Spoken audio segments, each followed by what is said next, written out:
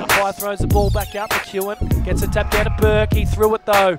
Advantage, taken by Red Hill. Marcazani pumps it up towards a wing position. Big fist behind by Proud. I'm in the Red Hill Ruins and I'm joined by their coach Jamie Mollo and uh, their youngster under 19 that played in the middle today, Aiden. Uh, you've got to be happy with the performance you guys put together today. Oh, it was great. Well, it was first two, first half where we had to grind it out a little in the third quarter as well. And I thought in the last we get the first goal break of open, we kind of opened the floodgates and it kind of happened that way. So to the boys' credit, they did really well. You guys led all day from the bounce, so uh, you said at three quarter time all you got to do is get the first clearance from the first goal.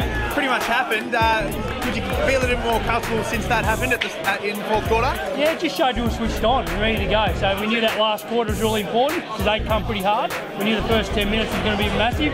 So that first goal, first clearance sets the tone for the rest of the quarter. We need more of that, okay? So we need to start with a little thing like the first clearance, first goal, right? Now we said that in the first quarter we weren't going that way, right? Transition that side, that's fine. You've got to swing it across quickly and then go in from the other side because that breeze going that way. It's a better shot on goal, boys.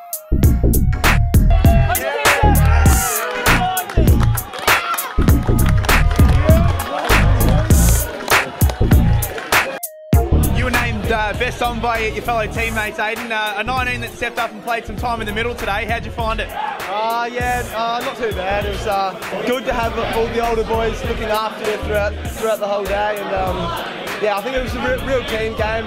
Everyone did their job, and it was just yeah, good to get the win. Getting a good performance in a finals game as a youngster, does that feel good to obviously have that confidence going into Dromana next week? Um, yeah, not so much for me, but for the team, I think it's really good to win, and then to win by that much in the end, I think it was really good for the whole team just to be able to yeah. It's all about team success. Good on you, Aiden. Thanks for having a chat, guys. Um, good luck against the, next week against Dromana. Yeah, appreciate it. Good on you.